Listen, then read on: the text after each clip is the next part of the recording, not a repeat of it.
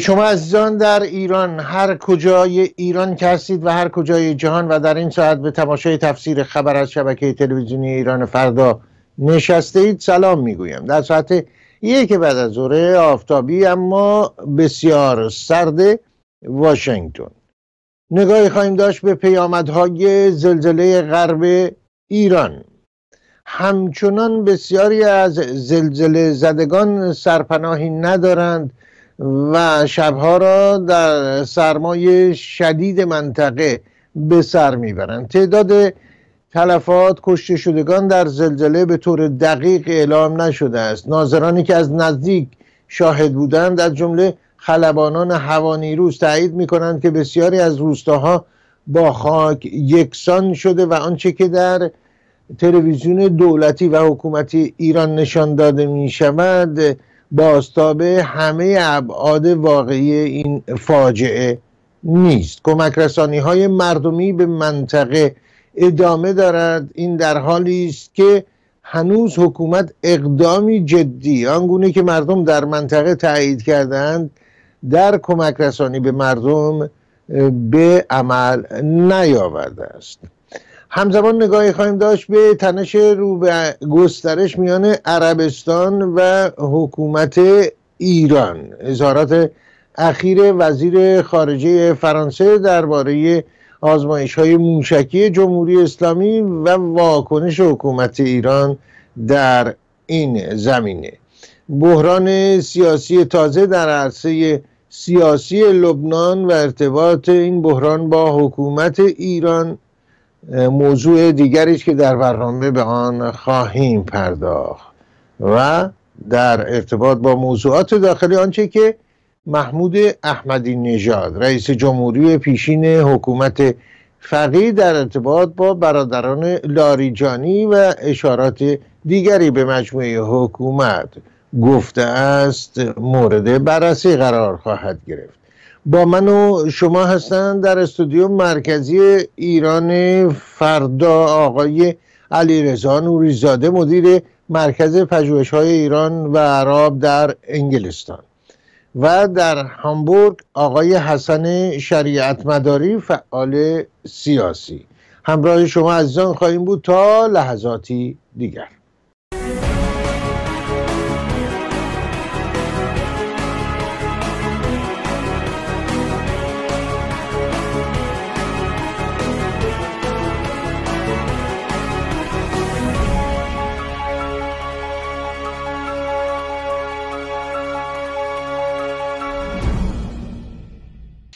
آقای نوریزاده عزیز سلام به شما. پس از بازگشت از توکیو. درود بر شما جناب شالنگی عزیزم. ممنون سپاسگزار. درود به جناب مهندس شریعت مداری عزیز و بینندگان تفسیر خبر به ویژه در خانه پدری. و سلام به شما آقای شریعت مداری در هامبورگ.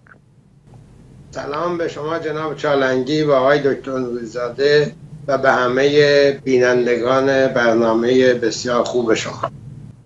من قبل از هر چیز آغاز سخن با آقای نوریزاده آقای شریعت مداری مایل هستم گزارش یک خلبان هوا نیروز رو از آنچه که دیده به اتفاق مهمانان و شما عزیزان با هم مشاهده کنیم و پرسش هایی در همین زمینه است که مطرح خلبان هلیکوپتر هوا نیروز که ما الان توی شرایطی بودیم و پرواز کردیم و صحنه هایی رو دیدیم که من الان تو پادگان ابوذر سرکار زهاب هستم.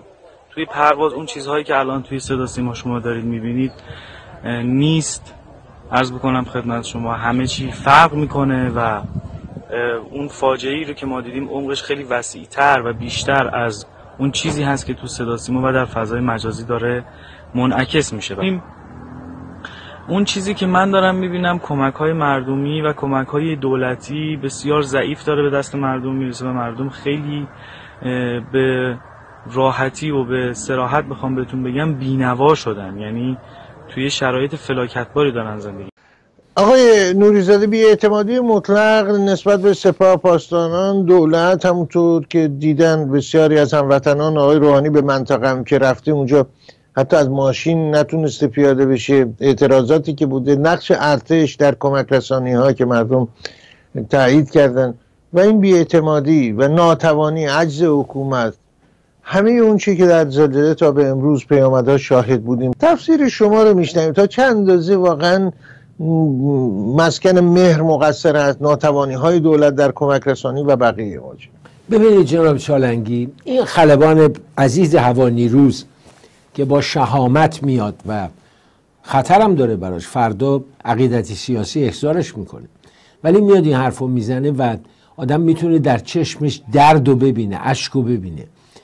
این نمونه ای از ارتشی های ایرانه که علا رقم همه فشارها دروس عقیدتی سیاسی اون اساس و مبنایی رو که ارتش نوین ایران بر پایه اون قرار گرفت و استوار شد میهن دوستی و وطن پرستی و مردم دوستی در این ارتشی ها هست. به همین دلیل نظام بعد از 38 سال هنوز ارتش و بچه زن سیغه ای می‌دونه. اما مردم در برابر آقای روحانی گفتن وقتی اسم ارتش اومد چه برداشت و استقبالی داشتن اسم سپاه و بسیج اومد چگونه؟ من نمی‌خوام سپاه بسیج رو متهم کنم. بدون شک اکثریت اونا هم آدمای وطن دوست و ملت دوستی هستن. و دلشون می‌خواد خدمت کنن. اما تشکیلات رهبری سپاه این فاسده اطلاعات سپاه فاسده. من امروز عکس قاسم سلیمانی رو می‌بینم در بوکمال سوریه. یه دستارم به سرش بسته. آدم نگاه می‌کنه فکر می‌کنه اسکندر مقدونیه. یعنی اینقدر خودش رو گنده گرفته اون بالا نشسته. اون وقت تو دو قدمی خودش توی کرمانشاه توی سرپل زهاب تو این روستاها. اینجور مردم دارن کشته میشن. چه تعداد کشته شدن که رژیم سراپا دروغ و جهل جمهوری ولایت فقیه فقط کتمان می‌کنه. آقای خامنه ای چند تا از مله ها رو میفرستن نماز میت بخونن و مردم اونجا واکنششون ما نماز میت نمی‌خوایم. خودمون بلدیم بخونیم.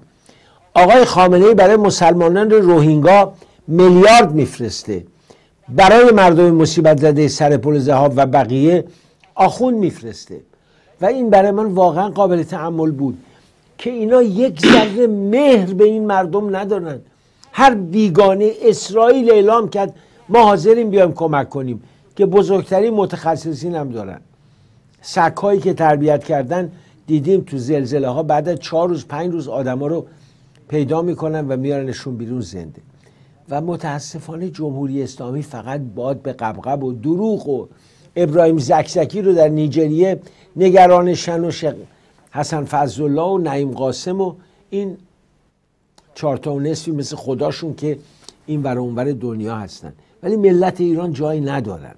و به نظر من آقای چالنگی عزیزم بعد از آتش سوزی پلاسکو این زلزله نشون داد که این رژیم چقدر ناکارآمده زلیل دروغگوه و هیچ کاری نمی‌تونه بکنه. صدا و سیماش هم دستگاه دروغ پراکنیه که هر پنج سال یه بارم یکی رو آقای خامنه می‌ذاره مدیرش که بیاد این دروغا رو مدرنتر بکنه شکل وسیعتری بش بده.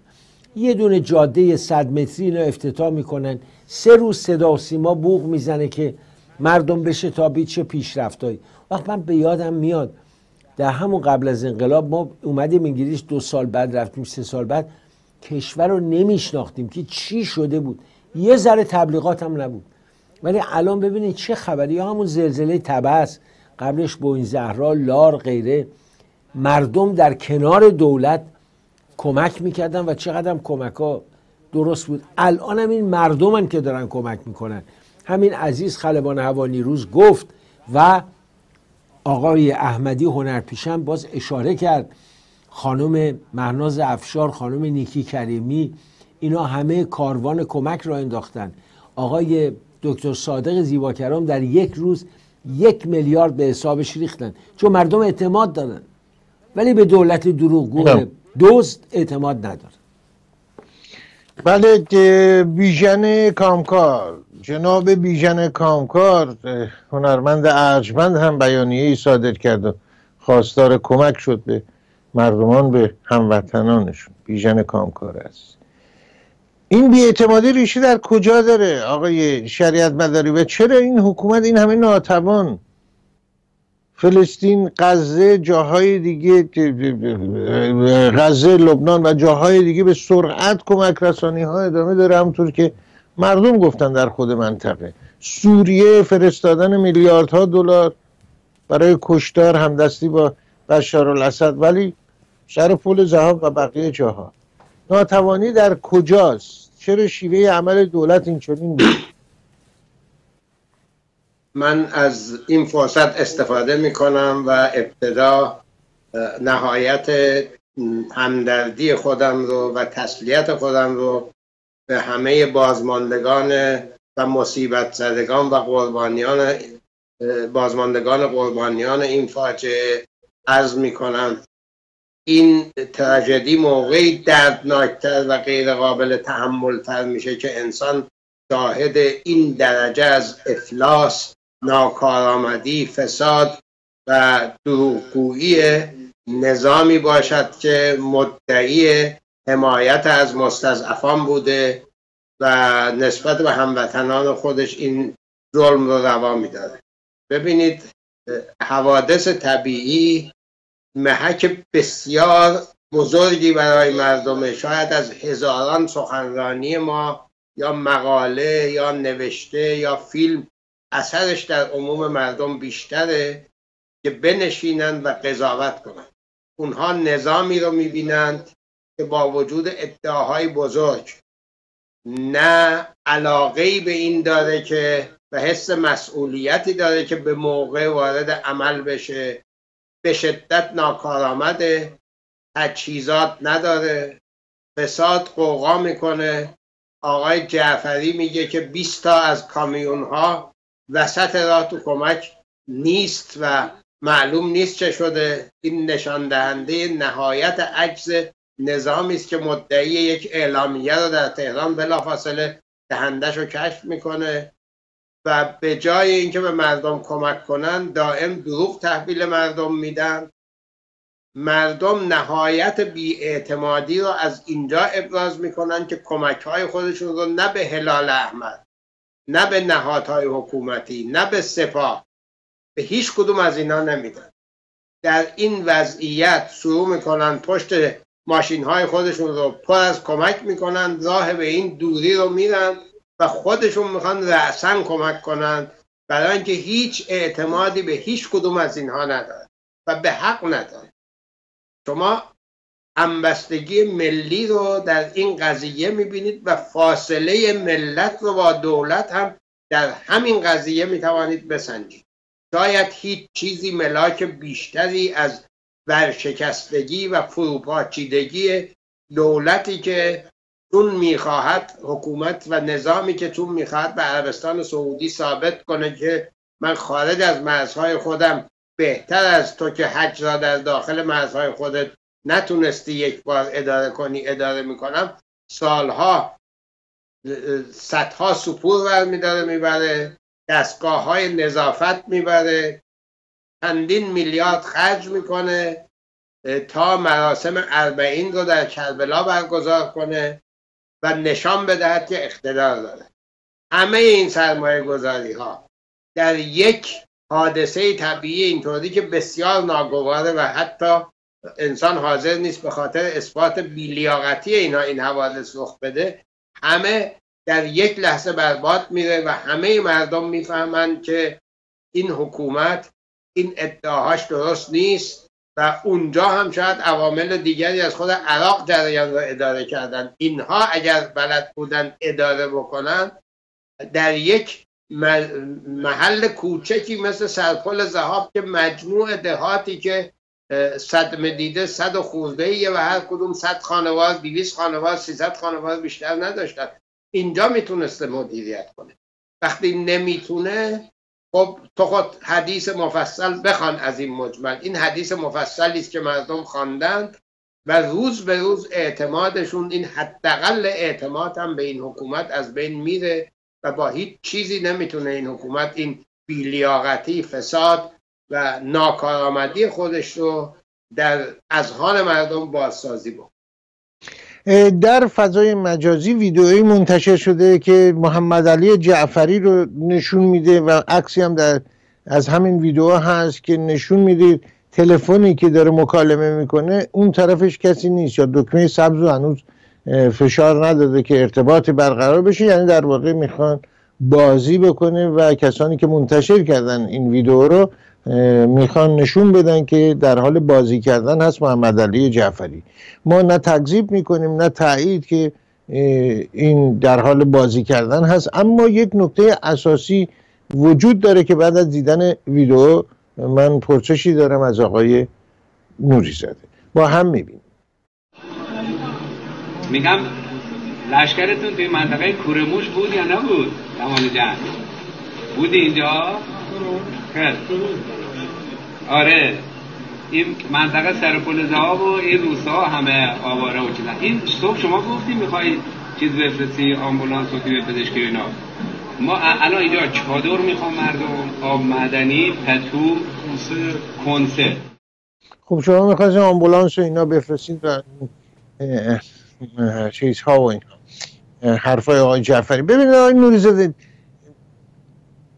حرف من پرسش من این هست. این همه مردم بیاعتمادن که ولو این واقعیت نداشته باشه یعنی داره با یه نفر اونور صحبت می‌کنه مردم بیاعتمادن که در همین حدم فرمانده سپاه پاسداران داره قدمی برمیداره. حالا با لحنی که داره صحبت می‌کنه انگار نه انگار اتفاقی افتاده. واقعا عمق این بیاعتمادی به فرماندهان سپاه پاسداران تا کجاست؟ و در خود بدنی سپاه پاسداران ما یا این بیاعتمادی محسوس هست؟ آی چالنگی ببینید معاون بهداشت یزد و معاونش رو تخت خوابیدن دارن خون میدن. بعد خبرنگار میره می‌کنه می‌بینه اصلا خون نمیدن. دروغی گذاشتن اونجا. یکی کیسه خونم بهشون آویزون کردن. خب مردم وقتی اینو می‌بینن می‌خوان آقای محمد علی جعفری رو باور کنن. وقتی نظامی از رأسش تا پایینش اصلا بر دروغ استوار بود بر فریبکاری استوار بود. چند روز پیش حرف آقای خامنه رو می‌دیدم. ایشون می‌گفت سری روز روشن. دیدید این مردک رئیس جمهور آمریکا به ملت ایران گفت تروریست به ملت ایران. در حالی که آقای ترامپ حساب ملت ایران از حکومت جدا کرد. آقای خامنه ای فکر نمی‌کنه که مردم ترجمه این سخنرانی رو می‌بینن میشنون؟ کسی دارن براشون بگه اگرم زبان نمی‌دونن؟ چون دروغ حدی نداره. از بالا تا پایین همه دروغ میگن. آقای جعفری هم دروغ میگه. مردم براشون آشکار شده که اگر این رژیم بگه شب است میگن نه. شب هم باشه میگن روزه. برای که مثلا رئیس قوه قضاییه اعتراض می‌کنه با آقای احمدی نژاد که چرا این حرفا رو می‌زنه. خب مردم میگن 63 تا حساب داره. و این حسابا حسابایی نیست که مثلا مثل بنده و شما برای بچه‌مون باز کردیم 100 دلار توشه. نه. اینا حسابایی است که هر کدوم توش صدها و دهها میلیارده. خب مردم اینو می‌بینن. بعد می‌بینن آقای رئیس قوه قضاییه یا آقای هاشمی شاهرودی چه عروسی برای دخترش می‌گیره. آقایون چه ثروتی به هم زدن. یک دونه از این آقازادهای دست سوم حالا این هفته من می‌خوام راجع به شرف بزنم. در همین لندن ما آقای چالنگی چهار تا اتومبیل داره که این چهار تا اتومبیل یک میلیون 500 هزار پوند قیمتشه. خب مردم اینو وقتی می‌بینن اعتماد ندارن. رژیم دروغگوه.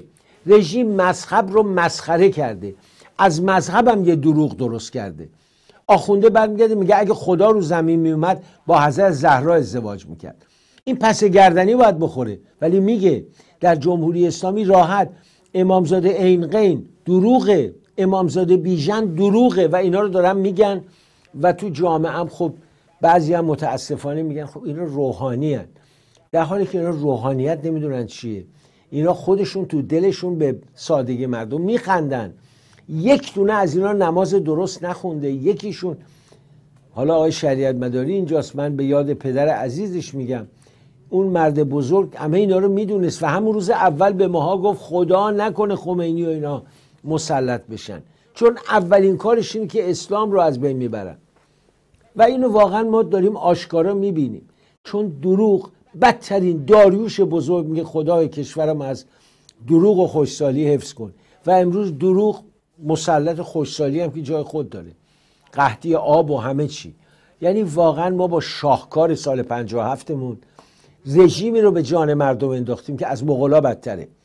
هیچ بیگانه ای مثل اینا نبود. مهر مردم درد کشیده الان سر پل زهاب و روستاهای کرمانشاهان. اصلا ذره تو دل اینا نیست. آدم افسوس می‌خوره. آقای مهندس شریعت مداری گفت کمک های مردمی رو مردم چون اعتقاد دارن این کار رو می‌کنن. من و شما و آقای مهندس یادمونه در زلزله تبس. مردم چه کردن؟ دولت چه کرد؟ و چطور تبس رو ساختن سری ولی هنوز بم ساخته نشده. اینا خب نشون دهنده همینه دیگه. یه رژیمی که من نمی‌دونم. فقط آقای چالنگی گاهی اوقات باور کنید. از حال مفسر و نویسنده میام بیرون عصبانی میشم. فقط می‌خوام داد بزنم. این منظره کرمانشاه و سر پر زهاب واقعا منو دیوانه کرد کلافم کرده که چجوری یه حکومتی اینقدر به ملتش بیمهره. بله اشاره کردم به شاهکار 57 چون همه اسامی که شاه داشت پیشوند و پسوند عوض شده که اون اساسا بیشتر خمینی کار بود به چون همه کارش هم خمینی بود. صحبت روحانیت شد. می‌بینیم. یکی از روحانیون که عبرت سایرین بشه و همه اینا معصیت است که باعث این موضوع شده. با هم می‌بینیم و من پرسشی دارم در این زمینه از آقای شریعت. واقعش افرادی که مصیبت می‌بینن یا امتحانی پیش میاد اینها عبرت هستن برای بقیه. ما با صدقه و با کارهای خیر این بلاها رو بیشتر دفع بکنیم و اینا امتحانهای الهیه. و عزیزانی که بستگانشون در این حادثه صدماتی دیدن به امید کمک دولت و دیگران نباشن. خودشون واقعا هر چقدر که در توان دارن از نظر معنوی و مادی کمک بکنن که مشکلات عزیزانی که ماندن حل بشه انشالله و ما هم دعاگوشون هستیم و این زلزله ها واقعا یک یادآوری هم باید باشه برای زلزله بزرگ قیامت. می‌دونید یکی از سوره قرآن به نام زلزاله. این زلزله ها تمام شدنیه و بیرون آمدن از قفس دنیا و بدن هست. ولی مهمترین موضوع زلزله قیامتی که انشالله هشدارهایی است که ما خودمون رو آماده کنیم برای اون زلزله بزرگ و خودمون رو بسازیم که انشالله اونجا برامون خطری تهدید نکنه. انشالله آقای شریعت مداری همونطور که آقای نوریزاده هم اشاره کردن پیش از انقلاب یا در جاهای دیگه از این حرفا نبود یا به این شکل نبود.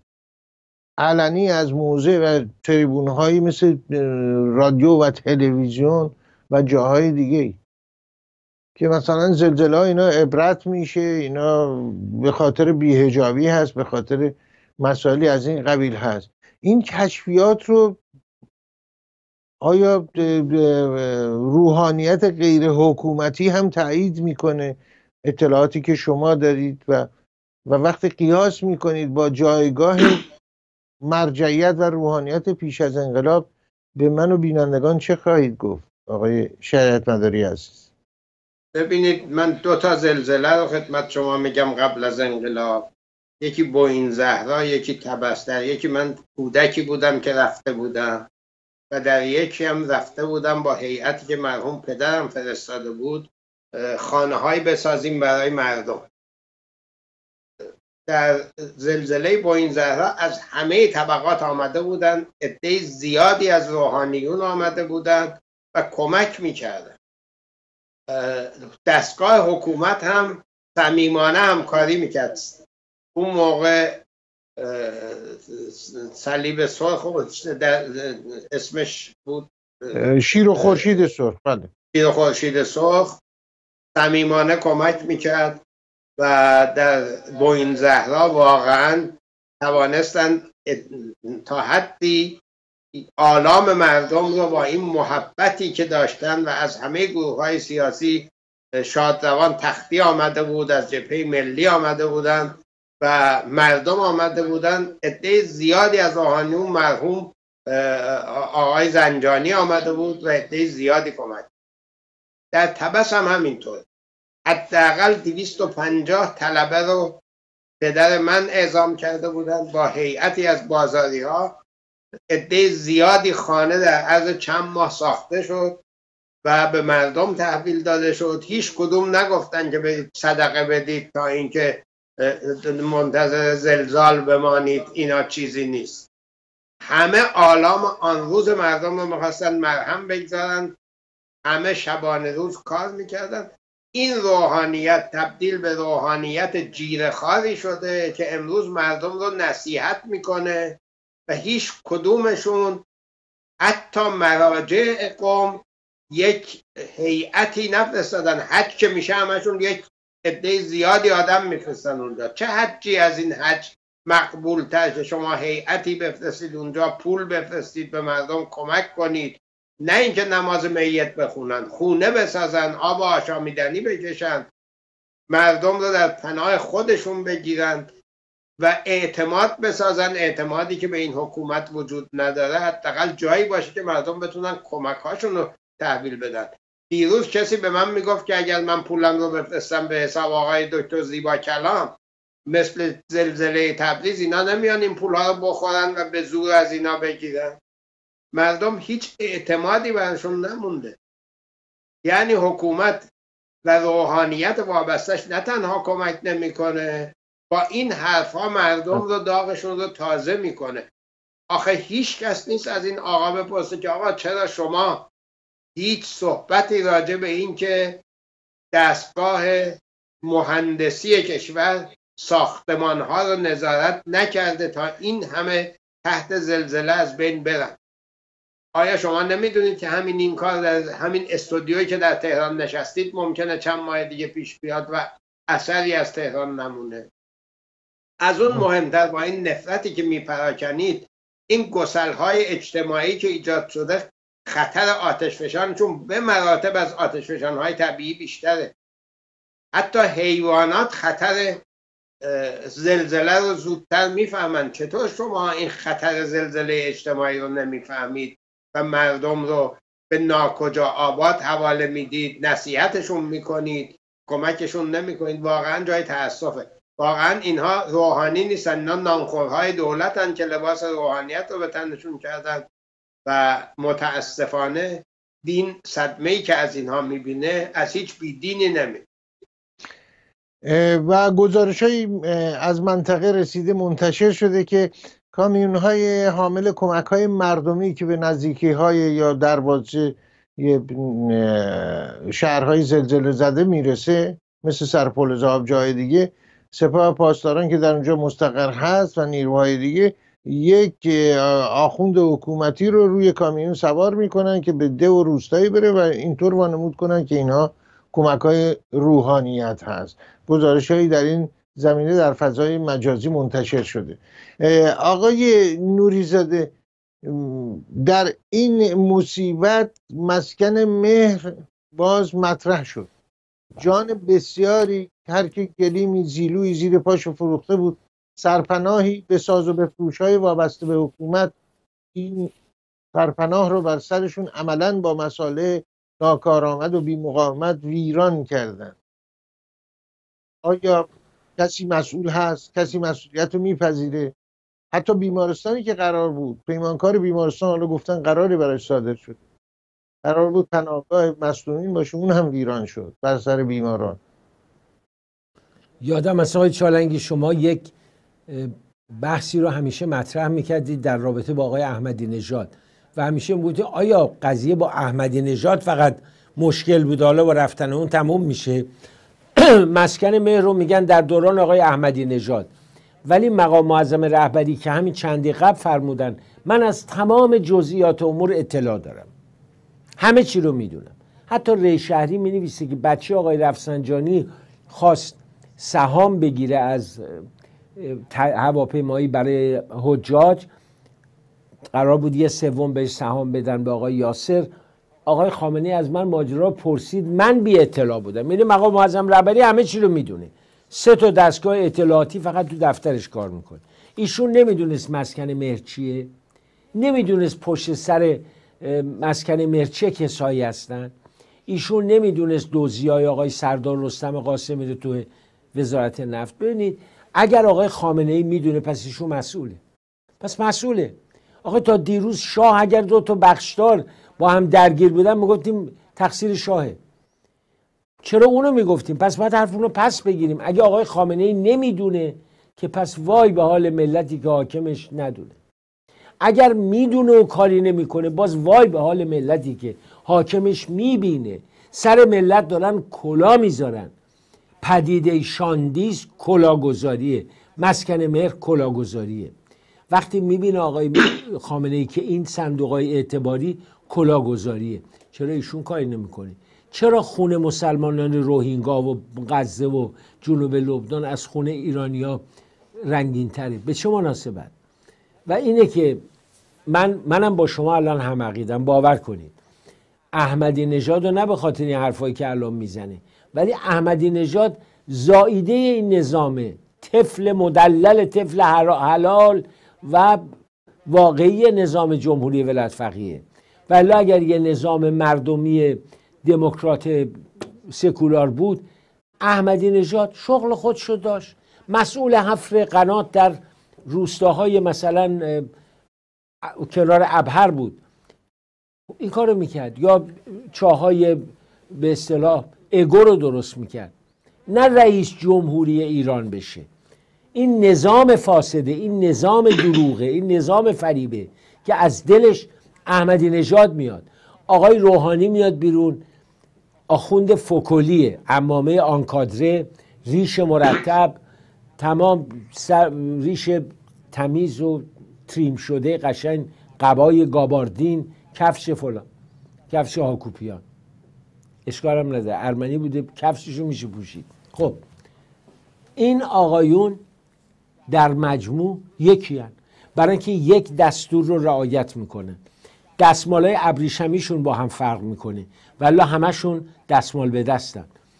و بنابراین من, من منم با شما الان هم شدم که واقعا فقط نمیشه گفت احمدی نژاد بد بود. احمدی نژاد محصول این نظامه. کمان که روحانی هم محصول این نظام آقای شریعت در همین نظامی که آقای نوریزاده اشاره کرد محصولاتش هم بر دارن از جمله احمدی نژاد صحبت یاسر رفسنجانی بود. باز ایشون آمده و اعلام کرده یکی دیگه از اعضای خانواده رفسنجانی پیشتر اعلام کرده بود که نامه پدرمون هنوز ما پیدا نکردیم. آیت الله رفسنجانی یا شیخ رفسنجانی حجت الاسلام هر عنوانی که ایشون داشت یکی از ارکان حکومت بود که با یک روایت شفاهیه که گفته شده بی اساس آقای خامنه ای رو به مسند قدرت رسوند. ولی وسیعت نامه خودش مکتوب پیدا نشده. این نشون چی هست در حکومت؟ حکومت به چه مرحله رسیده که وصیت‌نامه یکی از ارکان اساسی حکومت حتی گم میشه؟ بله قبلا ادعا کرده بودن. من نمی‌دونم چقدر درسته یا غلط قضاوت نمی‌تونم بکنم. صرفا ادعاهاشون رو میگم که گاف صندوق آقای رفسنجانی رو همون لحظات اول آمدن بردن یا خالی کردن بردن. و حالا می‌خوان بگن که نامه هم حتما برداشته شده و به نوعی مصادره شده در اختیار اینها نیست. واقعا چه پیش آمده خب توقع از این خانواده اینه که مقدار شفافتر حداقل شفافتر از پدرشون که حتی خاطراتش رو وقتی انسان می‌خواند به قدری سنبل کرده و اینجا و اونجا در پرده استتار نوشته که چیز زیادی دستگیر آدم نمیشه. اگه این ادعاها واقعا صحیحه خب شفاف اطلاع رسانی کنن. جامعه رو گیج نکنن و حرفاشون رو درست بزنن. من واقعا هیچ قضاوتی ندارم برای اینکه حرفا انقدر در پرده گفته میشه که معلوم نیست چی می‌خوان بگن. و اصلا معلوم نیست که منظورشون چیه. اگر این وصیت نامه بود چی می‌شد و حالا که نیست چی شده. آخه نامه خودش که جز برای خانواده مهم نیست. باید بگن که اگر بود چی می‌شد و اگر حالا که نیست چی شده.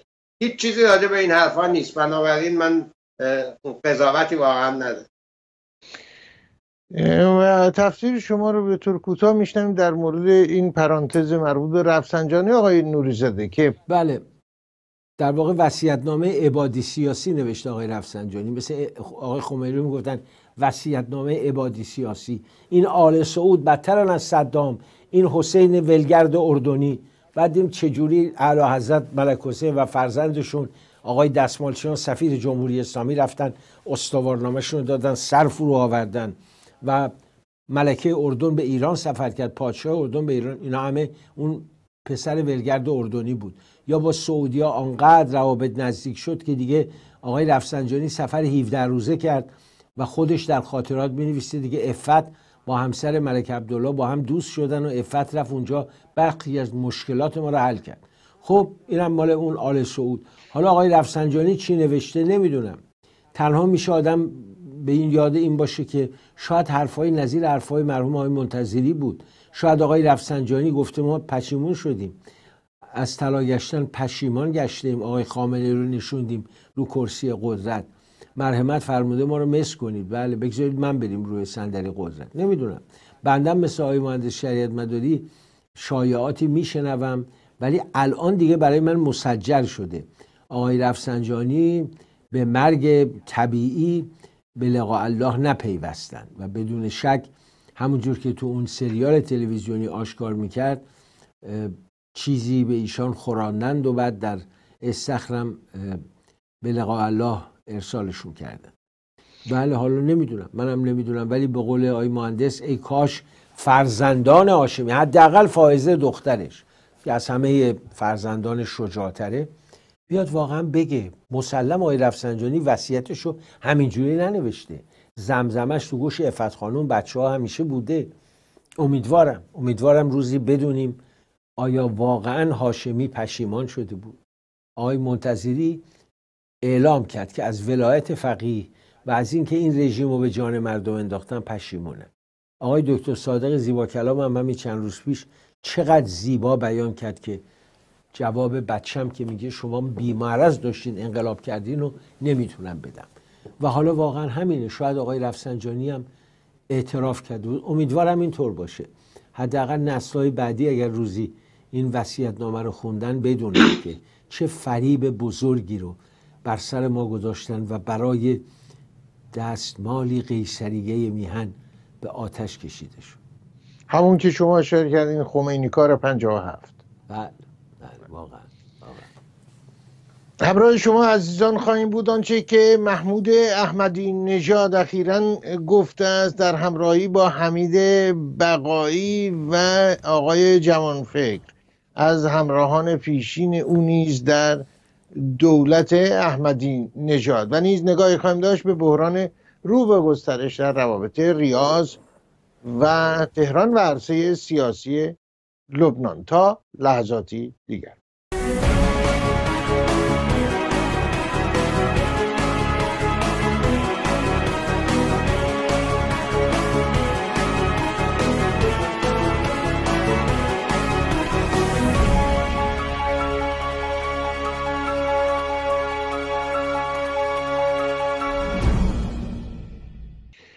محمود احمدی نژاد در کنار حمید بقایی آقای خراسانی و آقای جوانفکر رو طبعا مشایی سخنانی اخیرا در تهران گفت که در فضای مجازی باستاب گسترده ای پیدا کرد. سخنانی تقریبا کم سابقه. با هم میشنویم بخشی از سخنان محمود احمدی نژاد. دکتر احمدی نژاد. داستانم شماها می‌دونید. داستان امروز و دیروز نیست. والا به خدا به پیر به پیغمبر. ما با این خانواده لاریجانی مخالفیم. مخالف بودم اگر جرمه؟ کی گفته جرمه؟ ما مخالفیم. قبول نداریم مملکت بیافته دست اینا. ظلم بکنن فشار به مردم بیارن. در مقابل بیگانه کوتاه بیان ما قبول نداریم اینا رو. ما میگی بالای چشت ابروز یا توهین کردی. یه پرونده جدید. آقا ایشون اومده بیرون میگه والا مردم من دوست نیستم. یه پرونده جدید گفتی من دوست نیستم. این به رئیس قوه قضاییه برخورده است. آقا من این مردم همه میگیم ما دوست نیستیم. ما برخورده. بسم الله منو ببریم پس آزادی چی شد؟ ملت انقلاب کردن که چند نفر اون بالا بیشترن بگن همش ماییم. آقای شریعت مداری محمود احمدی نژاد هست. رئیس جمهوری مورد تایید رهبری جمهوری اسلامی که بابت تحکیم آقای احمدی نژاد بر کرسی ریاست جمهوری آدم کشتن تجاوز کردن و همه ماجرایی که بینندگان ما در جریان هستند تفسیر شما رو میشنیم وقتی این سخنان رو از زبان محمود احمدی نژاد در پایتخت ایران مطرح میشه نشون چی هست؟ نشون این چه چیزی هست که حکومت رفته به کجا رسیده تا به این مرحله ای که ایشون به سرعت رؤسای دو قوه مملکت از زبون رئیس جمهوری پیشین مورد تایید رهبری متهم است به آنچه که گفته شد. تفسیر آقای شریعت. بله به نظر من بیش از هر چیز نشانه آغاز فروپاشی نظامی است که هیچ سنگی روی سنگ درش بند نیست روی هم. آقای خامنه ای بر نظامی حکم میراند که هیچ کدوم از اجزایش چشم دیدن اون یکی رو ندارن همه به خون هم دیگر تشنن. اگر بیش از این شدت عمل به خرج نمیدن از یک طرف سابقه خودشون خرابه از یک طرف از آینده وحشت دارن. ببینید این همه اختلاف بین اینهاست. وحشت اینها از جماعت چیه؟ که هیچ کدوم از اینها در خارج از دایره حکومت به یارگیری و وصل شدن به ملت نمی اندیشن. دائما اینجا و اونجا همدیگر رو تخته می‌کنن چیزهایی میگن که درسته ولی یادش میره آقای احمدی نجات که این آقای مرتضوی که شما آوردی و بعد از قضیه کهریزک صندوق بیمای اجتماعی رو در اختیارش گذاشتی اون موقع هم مرحوم زهرا کازمی رو کشته بود دستور داده بود تا کهریزک برقرار بشه. یکی از جلادترین قاضی هایی بود که هر اون که نباید کرده بود و سوگلی شما شد. و شما هم سوگلی آقای خامنه ای بودید و همه این قضیه انتخابات به خاطر اون چیزی شد که بقیه معتقد بودن شما موافق بودید که و می‌دونستید که در این انتخابات تقلب شده. سرکوب مردم رد شدن ماشین ها از روی مردم همه اینها در زمان ریاست جمهوری شما شد. برادران لاریجانی هم در زمان ریاست جمهوری شما بسیار بیشتر قدرت پیدا کردن تا قبل از اون. خب همه اینها رو باید در کنار هم دید. آقای روحانی فرقش با آقای احمدی نژاد این بوده که هنوز اوضاع به جایی نرسیده که مجددا دور زدن تحریم ها لازم بشه. اگر دور زدن تحریم ها در دستور قرار بگیره ایشون هم همون راهی رو خواهد رفت. البته با رهبری آیت الله خامنه ای به همون راهی خواهد رفت که احمد نژاد اصلا برای اون انتخاب شد. یعنی شخصی که بتواند با آوردن بابک زنجانی ها و ایادی خودش شرکت های مجازی در جاهای مختلف دنیا درست کنه و بخواد کلا سر غربی ها بذاره و تحریم ها رو دور بزنه. آخرش این ثروت بزرگ از دست رفت.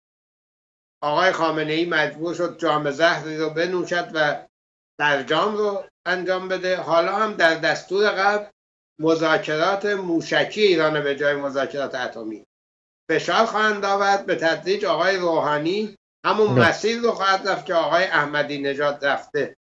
یعنی دوباره شرکت های مجازی رو توی آفریقا و اینور و اونور و اندونزی و ترکیه می‌سازن. یه رضا صرافی هم اینا پیدا می‌کنن یه بابک زنجانی هم بر اینا پیدا میشه و دوباره روز از نو و روزی از نو با این فرق که این دفعه دیگه قیمت نفت بالا نیست پولی وجود نداره. و در حقیقت تراژدی قضیه در این هست که این زلزله ای را که در جامعه ایجاد شده این عدم اعتماد این که فقط پس لحظهاش به داخل نظام نفوذ کرده و این وضع در داخل به وجود آورده اینا با فرافکنی با اینکه غربیا باعث اینن عربستان سعودی باعث این وضعه و با اینکه همه چیز رو فردا محول کنن و کاری کنن که امروزشون رد بشه نسبت به منافع ملی بیشتر خیانت می‌کنن و بیشتر از بین می‌برن. قضیه واضح اینا اهلیت اداره این مملکت رو ندارن و مملکت در حال فروپاشی است. اینام علائمش. آقای نوریزاده در آغاز اشاره کرد آقای شریعت مداری که آنچه که احمدی نژاد مطرح کرده آغاز فروپاشی حکومت نشانه است از آغاز فروپاشی حکومت. خیلی این نظر رو ابراز کردن آقای شریعت مداری تنها نیست در این زمینه. تفسیر شما رو میشنویم. شما چطور تفسیر می‌کنین؟ اون چیزی که احمدی نژاد گفت و اساسا اینی که احمدی نژاد نوعی اپوزیسیون خود حکومت تبدیل شده رو شما چه تعبیر رو تفسیر؟ اول از بدید یه اشاره بکنم به سرنگونی نیمبند مردی که 38 سال با انقلاب ما در زیمبابوه به قدرت رسید اون رودیزیایی که همون یان اسمیت نجات پرست بله. تبدیلش کرده بود به یه قطب اقتصادی آفریقا تبدیل به کشور بیچاره ای کرد که روزانه درصد افلاسش و درصد تورمش سر به هزار می‌زنه. و یه چیز عجیب غریبی. انتخابات هم که با زور کشورهای غربی و تحریم و کامنولس و غیره برگزار کرد و باخت بازم جر زد زیرش اومد و همسرش هم که همسر سابق سامورا میشله اون بله. خانم هم که معاونش بود حالا قرضم این بود. مردم شورش کردن. زد و خورد شد. مردم رو سرکوب کردن. ولی در یه نقطه رسید مردم برای ارتشی دست می‌زدن. دیروز با مردم که سوال می‌کرد بی بی سی می‌گفتن که دیگه به اینجامون رسید. دیگه خفه شدیم. دیگه نمی‌تونستیم این قیافه رو تحمل کنیم که تو 93 سالگی تازه می‌خواد زنش رو جانشین خودش کنه. حالا اینکه آقای مهندس میگه آغاز فروپاشی این رو آدم حس می‌کنه. ببینید احمدی نژاد اگر نمی‌دونست این حکومت در حال سرنگونی حرفا رو نمی‌زد. احمدی نژاد می‌خواد از خوش قهرمان بسازه. الان می‌دونه مردم دلشون پره. از هر کدوم از اینا که بگه براش محبوبیت ایجاد می‌کنه و پیش خودش هم میگه مردم فراموشکارن. این مردم یادشون رفته خمینی چه به سرشون آورد. تو سال 88 می‌خواستم برگردم به دوران طلایی خمینی. اینو حس می‌کنه احمدی نژاد. می‌خواد استفاده کنه عین هر آدم فرصت طلب ماکیاولیستی می‌خواد از این ماجرا استفاده بکنه. و بعد نکته جالبتر اینه که همونطور که باز آقای مهندس گفت چون اینا همه فاسدن و دستشون تو جیب هم دیگه است اینه که کاملا دونه دونه هم دیگه رو فاش می‌کنن. هر کدومشون میان اون یکی رو آبرو اون یکی رو می‌بره و اینو ما در سالهای اخیر تو جمهوری اسلامی شاهد بودیم. وگرنه آقای روحانی میاد به مردم وعده میده که اولین کار من مبارزه با فساد و ظلمه. چی شد؟ چرا زبونش بند اومد؟ چون برادرش آوردن وسط تموم شد. اینا هر کدومشون یه پرونده دارن. یه پرونده مفتوح و یه پرونده ناگشوده. الان گفتم برای احمدی نژاد هفتش تا پرونده دارن درست می‌کنن. منتها به نظر می‌رسه احمدی نژاد بهتر از ماها می‌دونه که آقای خامنه ای به هر حال غزل پایانی رو به زودی خواهد خوند.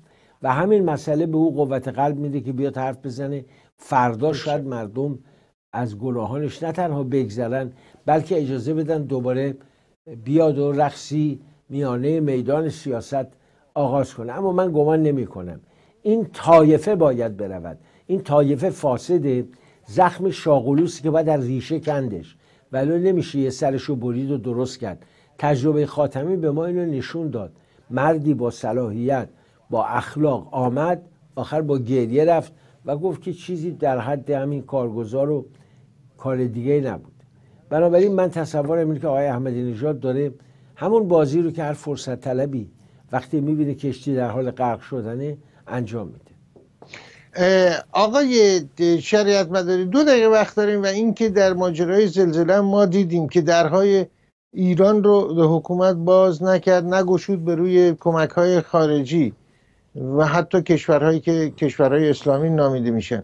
و این بحرانی که وجود داره در منطقه حکومت ایران بخشی از من منشه این بحران خونده میشه و الان هم به نظر می‌رسی که در پی نوعی زمین سازی برای جنگی تازه در منطقه هستند. بسیاری و حکومت ایران متمایل به جنگ شیعه و سنی اونطور که سخنرانان حکومتی بر منابر اشاره می‌کنند و رفتارشون با سن... اهل سنت در ایران. تفسیر شما رو میشنویم. بحران موجود بین ایران و عربستان سعودی و حضور ایران در کشورهای منطقه. دو دقیقه وقت. خب من فکر می‌کنم که این بحران بین ایران و عربستان سعودی به حدی رسیده که در حقیقت با اون چی که قدرت های بزرگ غربی می‌خوان و حتی اسرائیل می‌خواد کاملا هماهنگ نیست. عربستان و ایران در صددند که یک نوع تسلط همه جانبه هر دوشون می‌خوان به اون یکی داشته باشند و اون یکی در حقیقت واضح بشه که در منطقه قدرتی نداره. یعنی منظورم جمهوری اسلامی از ایران. برعکس آدم که سیاست های آقای ترامپ رو می‌بینه و ادمنستریشن رو بیشتر به این نتیجه می‌رسه که قد در صدد به راه انداختن یک مذاکرات موشکی و کنترل ایران در منطقه است. اسرائیل دیروز من مصاحبه رئیس ستادش رو با یک وبلاگ عربستان سعودی میخوندم. بیشتر به این نتیجه است که این همکاری که داریم یک همکاری اطلاعاتی است و ما و عربستان سعودی آماده برخورد نظامی نیستیم. در حقیقت همه علائم نشون میده که دو کشور هر دو مسائل بزرگی دارن مسائل ایران نوع دیگه است مسائل عربستان سعودی نوع دیگه است.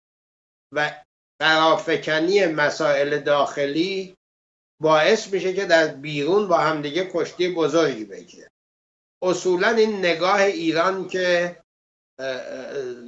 بیرون, بیرون از مرزها مهمتر از داخل مرزه همون قضیه است که شوروی سابق رو به شکست وادار کرد.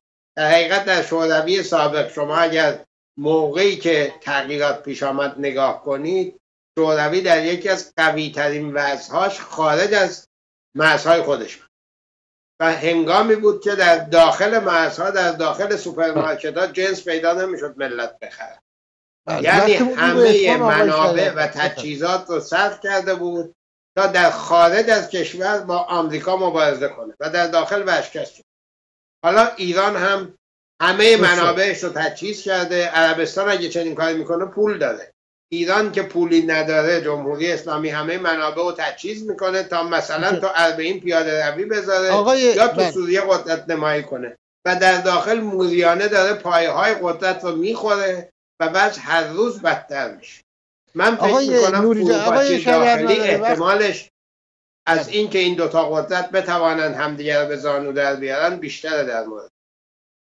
آقای نوریزاده دو دقیقه وقت داریم و اینکه لبنان.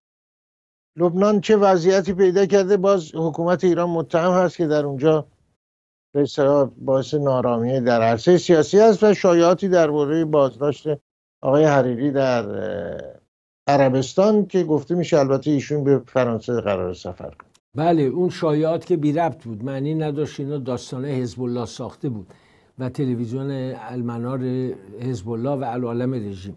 اما حقیقتا آنچه که حریری گفت واقعیت داره. میگه آقا آقای ولایتی پشت رفت اونجا رسما تهدیدش کرده. آقای روحانی از تهران میگه در لبنان هیچی انجام نمیشه به جز که ما بخوایم. کی گفته؟ مردم لبنان قبول ندارن شما رو. به ضرب کلاشنیکوف و اسلحه حزب الله بخشی از لبنان رو متصرف شدن و اونجا برای خودشون کشور شیعه اسلام درست کردن. اینه که استعفای حریری در اعتراض به این بود. دو وزیر حزب در کابینهشن و میگه شما حق ندارید برید کشور دیگر رو با موشک بزنید. کشوری که حامی ماست و دوست ماست. این ببینید آقای چالنگی مصیبت جمهوری ولایت فقیه فقط پدر ما رو در نیورد منطقه رو آلوده کرد منطقه رو اذیت کرد. جنگ یمن بحرانی که در بحرین هست مصیبت عراق مصیبت سوریه همه جا دست نظام ولایت فقیه در اونجا دیده میشه. سپاسگزار هستیم آقای علیرضا نوریزاده مدیر مرکز پژوهش های ایران و عرب در انگلستان و سپاسگزار هستیم. آقای حسن شریعت مداری فعال سیاسی در هامبورگ. عزیزانی که برنامه رو از آغاز ندیدن می‌تونن تا لحظاتی دیگه لینک برنامه رو روی کانال تلگرام تفسیر خبر و ساعتی بعدتر روی وبسایت ایران فردا مشاهده کنند با ما در تماس باشید. به پایان برنامه رسیدیم. با امید به روزی که خاور میانه به آرامش بازگرده و مردمانش در عرصه زندگی داره. یه زندگی مرفه و تو هم با آرامشی باشند و با آرزوی سامان یافتن بازماندگان زلزله غرب کشور. با امید فردایی بهتر با برآمدن آفتاب از فراز البرز و تابشان بر فلات ایران زمین. روزگارتان خوش تندرستیتان پایدار.